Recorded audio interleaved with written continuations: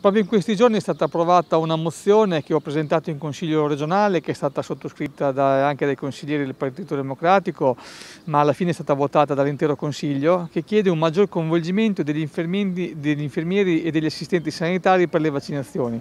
Noi sappiamo che nelle prossime settimane arriveranno migliaia e migliaia di vaccini e sarà importante riuscire poi a utilizzarli. Per poterlo fare sicuramente dovranno essere aumentati i punti per la vaccinazione, ma soprattutto dovranno essere aumentati i professionisti che sono in grado di fare vaccini.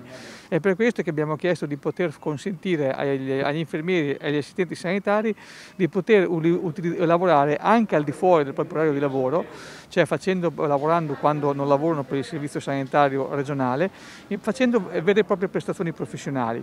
Questo appunto gli consentirebbe, come è già stato fatto per i medici, di poter appunto dare, continuare a dare il contributo. Infermieri e assistenti sanitari hanno un rapporto di esclusività, quindi è necessaria una deroga. Da questo punto di vista abbiamo chiesto quindi alla Regione di attivare subito un incontro con, le, eh, con, con, i vari sindacati per definire tempi, modalità e soprattutto quelli che sono i costi eh, che sono necessari per poter attivare quanto prima, cioè da, già dalle prossime settimane, questo tipo di coinvolgimento.